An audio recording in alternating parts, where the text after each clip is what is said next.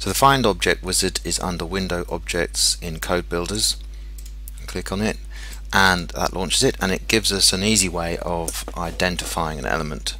Whereas perhaps in the if you're used to if you've if you're if you're a long time user of Macro Scheduler you might have done something like this and then which gives you a list of all the windowed controls and allows you to, to drill down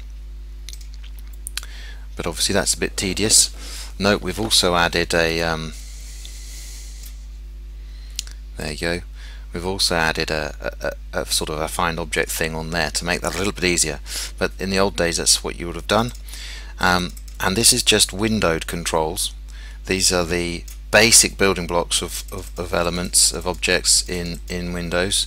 Um, but to, to be in this list they have to have handles which means they are windowed controls.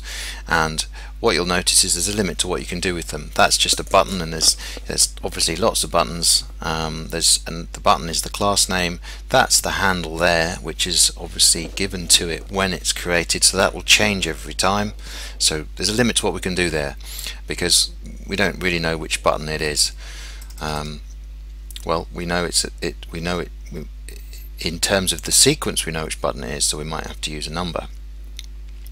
Let's just go back to the find object wizard and show how we can do that. So let's find that button and just insert the code. And what we've got is some code which you might have seen before which basically gets the handle of the calculator. This is fairly low level stuff. And then it using the handle of the parent window the calculator it then tells it to look for a button of uh, an object of class name button. It wants the 14th instance of a object with class name button and that then returns its handle and we've also got its position. So we could now send some keystrokes. For example if we wanted to click on that we could perhaps do something like um, we probably want an offset because that's going to be the top left of the position. So let's just let's just do something like this for now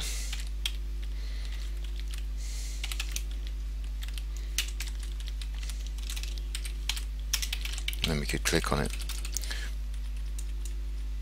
There you can see that it's moved the, the mouse to it. So that will work with any windowed control. It's an easy way of finding finding the control. But there's something new which makes this even easier. Let's go back to the find object wizard. I think you'll like this what we can do is we can drag again to there. And notice this extra information here UI automation name 9 it's identified the actual button. You'll notice that when we looked in view system windows it didn't have that name 9 that's because this UI automation name thing is using something called Microsoft's accessibility framework. And that is something that was designed initially really to give to make to make applications accessible to things like screen readers also for automated testing.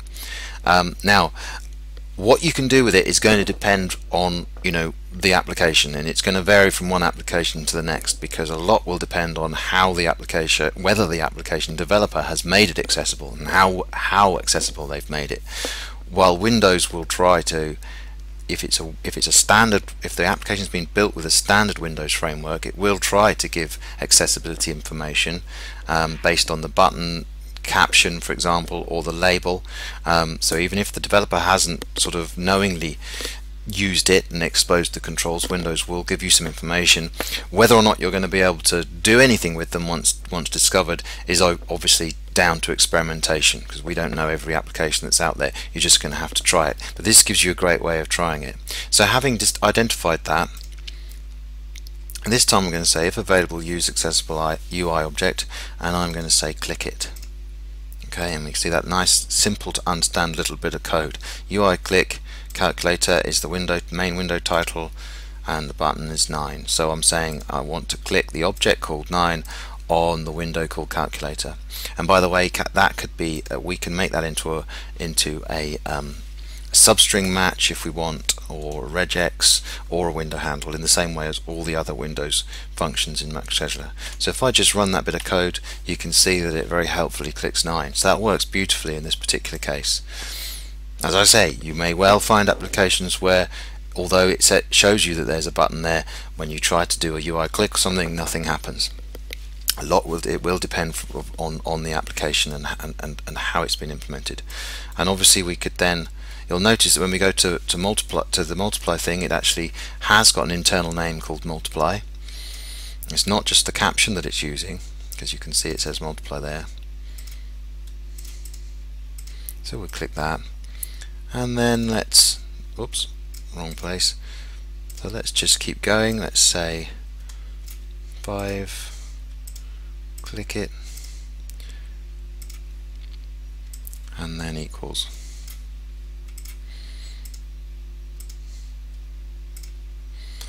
And then so let's just clear that. And if we run that 9 times 5 there you go. You can see that works. So that works really well. Um, so experimentation is the key. Use that find object wizard to point it at the object you want to want to control. See if you can click it.